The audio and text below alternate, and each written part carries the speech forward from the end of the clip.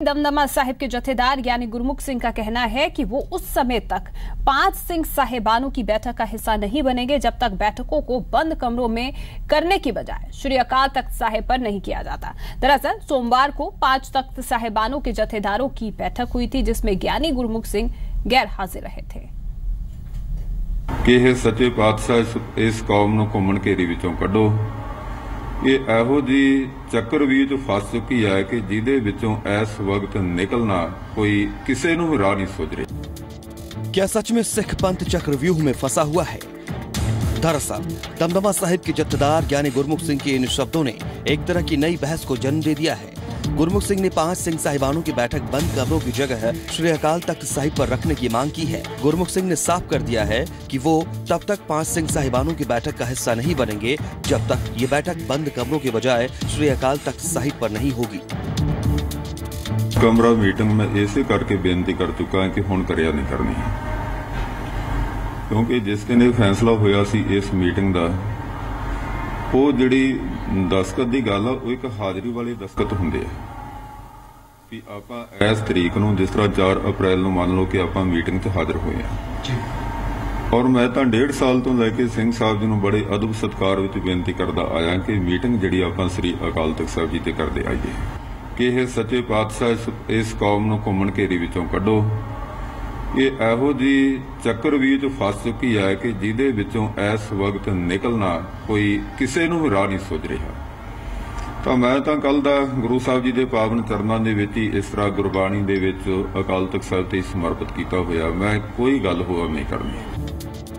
वहीं अपना पंजाब पार्टी के त्रिलोचन सिंह ने जत्थेदार गुरमुख सिंह के बयान का स्वागत किया है उन्होंने कहा कि फैसले बंद कमरे में नहीं, बल्कि अकाल तख्त पर होने चाहिए, जबकि सत्ताधारी कांग्रेस ने फ़िलहाल कुछ भी कहने से इनकार किया है। ਤੇ ਮੈਨੂੰ ਇਹ ਲੱਗਦਾ ਵੀ ਬੰਦ ਕਮਰਿਆਂ ਦੇ ਵਿੱਚ ਸਿੱਖਾਂ ਦੇ ਫੈਸਲੇ, ਇਹ ਕੋਈ ਕੈਬਨਿਟ ਦਾ ਜਾਂ ਸਰਕਾਰਾਂ ਸਰਕਾਰਾਂ ਬੜੀਆਂ ਛੋਟੀਆਂ ਨੇ ਅਕਾਲ ਤਖਤ ਦੇ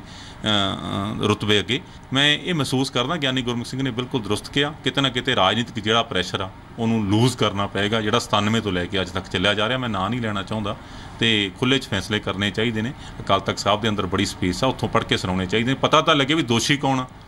ਤੇ ਉਹਨੂੰ ਮਹਿਸੂਸ ਹੋਵੇ ਵੀ ਮੈਂ ਜਿਹੜਾ ਕਿਤੇ ਨਾ ਕਿਤੇ ਦੋਸ਼ ਕੀਤਾ ਸੀ, ਤਾਂ ਮੇਰੇ ਖਿਲਾਫ ਇਹ ਓਪਨਲੀ ਅੱਜ ਫੈਸਲਾ ਕੀਤਾ। ਨਾ ਸਾਡੀ ਕੋਈ ਸਰਕਾਰ ਦਾ ਇਹਦੇ 'ਚ ਕੋਈ ਮਤ ਹੈਗਾ ਹੈ। ਇਹ ਆਪਣੀ ਸਿੰਘ ਸਮਾਨ ਦੇ ਆਪਣੇ ਫੈਸਲੇ ਦੇ। ਗੁਰਮੁਖ ਸਿੰਘ ਸਿੰਘ ਸਮਾਨ ਨੇ ਕੀ ਕਿਹਾ? ਅਕਾਲ ਤਖਤ ਦੇ ਸਿੰਘ ਸਮਾਨ ਨੇ ਕੀ ਕਿਹਾ? ਅਸੀਂ ਤਾਂ ਸਿਰਫ ਹੱਥ ਜੋੜ ਕੇ ਇਸ ਚੀਜ਼ ਦੀ ਬੇਨਤੀ ਕਰਨਾ ਚਾਹਾਂਗੇ ਕਿ ਪੰਥ ਨੂੰ ਅੱਗੇ ਲੈ ਕੇ ਜਾਓ। ਆਪਣੇ ਹੁਕਮਨਾਮੇ ਸਹੀ ਹੈ ਕਿ ਇਹਦੇ 'ਚ ਕੋਈ ਰਾਜਨੀਤੀ ਨਾ ਕਰੋ। ਔਰ ਮਹਾਰਾਜ ਨੂੰ ਹਾਜ਼ਰ ਨਾਜ਼ਰ ਸਮਝ ਕੇ ਇਸ ਪੰਥ ਨੂੰ ਅੱਗੇ ਆਉਣ ਵਾਲੀ ਜਨਰੇਸ਼ਨ ਨੂੰ ਇੱਕ ਅੱਛਾ ਮੈਸੇਜ ਜਾਣਾ ਚਾਹੀਦਾ ਹੈ। दरअसल, सोमवार को डेरा से समर्थन मामले को लेकर सिंह साहिबानों की बैठक हुई थी, जिसमें दमदमा साहिब के जत्थेदार, यानी गुरमुख सिंह शामिल नहीं हुए थे। Bureau report, C media. तो ज्ञानी गुरमुख सिंह है, जिन्होंने ये कहा है कि जब तक बंद कमरों में जो है फैसले लेने नहीं किए जाते, तब तक वो मीटिंग्स अटेंड नहीं करेंगे। और इसी पर ज़्यादा जानकारी के लिए हमारे साथ जी मीडिया संवाददाता राजन गोसाई अमृतसर से जुड़ चुके हैं। राजन तो एक बेहद बड़ी बात जो है ज्ञानी गुरमुख सिंह ने कह दी है जिससे जो है पूरे इन फैसलों की स्थिति पर, बैठकों पर, सिख पंथ में जिस तरह से बैठकें हो रही है, अकाल तख्त साहिब में जैसे बैठकें हो रही है, उस पर ज़रूर सवाल खड़ा कर दिया है आ, जी बिल्कुल इंदर आज तक जो है पिछले लंबे समय से श्री अकाल तख्त साहिब के जितनी भी बैठकें हुई हैं पाँच तख्तों के सिंह साहिबानों की तो वो श्री अकाल तख्त साहिब के सचिवालय में होती रही हैं और इसी को आधार बनाकर यानी गुरमुख सिंह ने ये कहा है कि जो पंथ की मर्यादा है उसके अनुसार जो भी पाँचों तख्तों की जो बैठक होनी है अहम मुद्दों पर जो विचार चर्चा होनी है वो श्री अकाल तख्त साहिब पर होनी चाहिए ना कि सचिवालय के बंद कमरे में। तो इसके साथ साथ अगर बात की जाए तो जिस तरह से ये कहा उनका जो इशारा है वो यही है कि बंद कमरे में सियासी जो दबाव रहता है तो ये पहले जो है पंथक संगठन अलग अलग पंथक संगठन ये आरोप लगाते रहे हैं कि जथ, जथेदार बंद कमरों में सियासी फैसले लेते हैं उनके अपने फैसले नहीं होते तो कहीं ना कहीं गुरमुख सिंह ने भी यही इशारा किया है और उनका इशारा ये भी है कि बंद कमरों में सियासी दबाव के कारण फैसले लिए जा रहे हैं जिसके कारण पंथक मर्यादा का भी हनन हो रहा है और उन्होंने साफ़ स्पष्ट कर दिया कि जब तक उन ये जो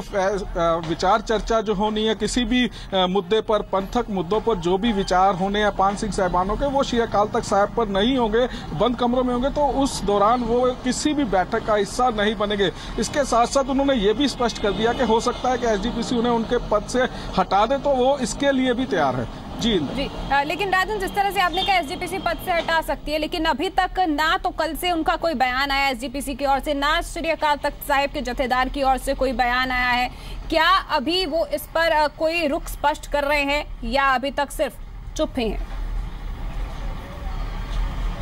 जी इंदर बिल्कुल अगर बात की जाए तो प्रोफेसर कृपाल सिंह बडूंगर, उनका साफ़ तौर पर अगर कुछ पत्रकारों ने उनसे पूछा भी था कि ज्ञानी गुरमुख सिंह ने यह कहा है कि बंद कमरों में बैठक नहीं होनी चाहिए श्री अकाल तक साहिब पर होनी चाहिए, और उन्होंने ये भी खदशा ज़ाहिर किया कि उन्हें पद से भी हटाया जा सकता तो उनका ये साफ़ तौर पर कहना था कि एसजीपीसी जो है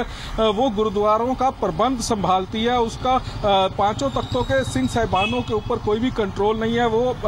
जो है निष्पक्ष हैं और उनके फैसले जो है उन पर एसडीपीसी किसी तरह का किंतु परंतु नहीं कर सकती है। हालाँकि अगर जथेदार यानी गुरबचन सिंह की बात की जाए तो वो अभी तक इस मुद्दे पर सामने नहीं आए हैं। उनसे संपर्क करने की कोशिश भी की गई है। फ़िलहाल थोड़ी देर में पता चलेगा कि ज्ञानी गुरबचन सिंह अपना रुख स्पष्ट करते हैं या वो अमृतसर में है या कहाँ पर है। तो उनसे भी बात करने की कोशिश की जाएगी कि आखिर जो ज्ञानी गुरमुख सिंह ने जो मुद्दा उठाया उस मुद्दे में कितना वज़न है और सचिवालय के बंद कमरे में जो बैठकें हो रही हैं पाँचों तख्तों के सिंह साहबानों की उसे श्री अकाल तख्त सब पर किया जाएगा या नहीं किया जाएगा ये रुख उनसे ज़रूर उनका रुख इस मुद्दे पर लेने की कोशिश की जाएगी। जी।